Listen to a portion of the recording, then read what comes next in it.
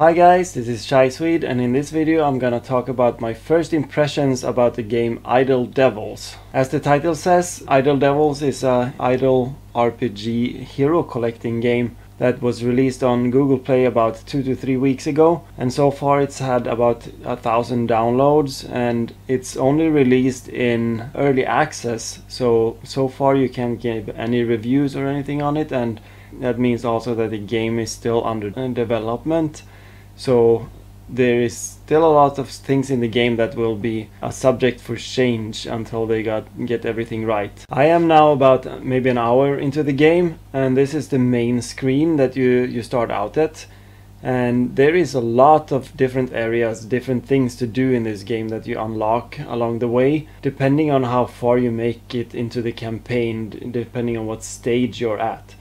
So if we look over here, there is a whole bunch of areas that I still have not unlocked because I'm only at level 61 as of now. Uh, I have spent a lot of time to try to explore the game and see what it's all about, so I haven't really focused that much on making progress so far. But uh, as you can see, the, the last thing you unlock is the wall, which unlocks at stage 1600. So you have a lot of things to unlock along the way and it's gonna take quite some time I feel like to unlock everything. But in the beginning uh, you have the stage this the campaign unlocked and this is where you start out. You start out with one hero so I'm gonna show you how how the uh, the campaign looks like. So th this is pretty much the idle part of the game. You can just start the campaign then you can leave your phone and go away somewhere and it will just do all the fighting for you. And you can put it on full auto so it actually enters the boss fights automatically as well. And this will progress you as far as your heroes can take you. Eventually your heroes will not be strong enough and they will lose a fight and you will just start that stage over and you will continue gaining resources but you will not progress any further. So th this is where you need to start leveling up your heroes. You can find your heroes down here in the corner, usually it looks like this, and you open this menu up and you can find different things you can go into. So let's go check the hero section out. And as you can see, I already have seven different five-star heroes. I feel like in the beginning you're getting a lot of five-star heroes, so I, I'm really wondering if the uh, the pace is gonna continue like this and the progression is gonna continue being as fast as it is in the beginning I I hope not because if it does then you're gonna run out of things to do and heroes to collect pretty fast it feels like.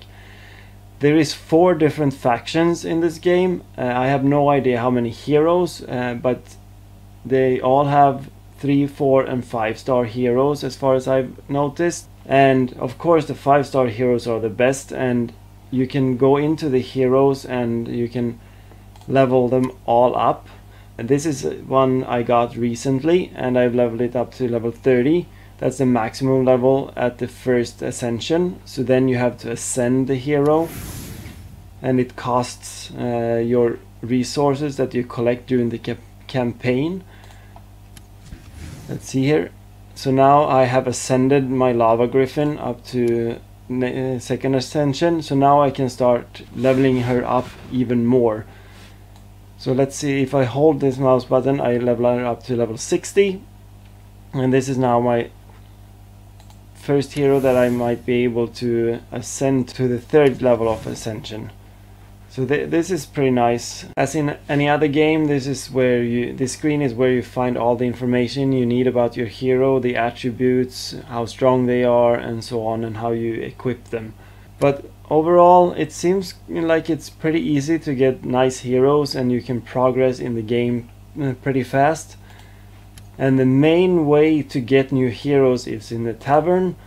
You get these cards to summon heroes and after a while in the game you start getting uh, quite a lot of them. So uh, I have been able to do some summons already. I'm gonna show you now how to do a heroic summon times 10 and let's hope we get something good.